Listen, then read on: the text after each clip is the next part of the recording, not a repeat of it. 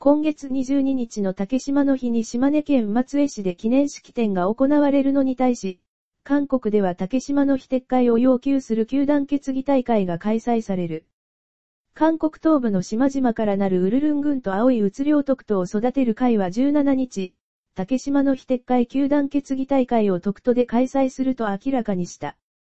今回の球団決議大会は、毎年繰り返される日本の領土侵奪行為をすぐに中断することと特等日本固有の領土だと歪曲した教科書の迅速な訂正を強く要求する声明書を現地で発表する予定だという。